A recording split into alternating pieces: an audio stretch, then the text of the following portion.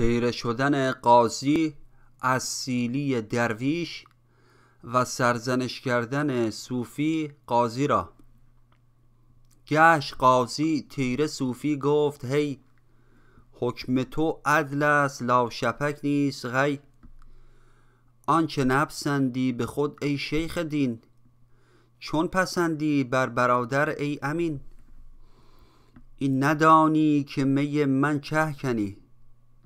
هم در آن چه عاقبت خود افکنی. من حفر بئرا نخواندی از خبر.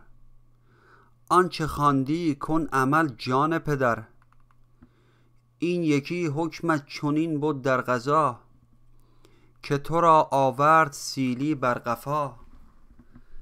وای بر احکام دیگرهای تو تا چه آرد بر سر و بر پای تو. ظالمی را رحم آری از کرم که برای نفقه بابدت سه درم. دست ظالم را ببر چه جای آن که بودست او نهی حکم و انان تو بدان بزمانی مجهول داد که نژاد گرگ را او شیر داد.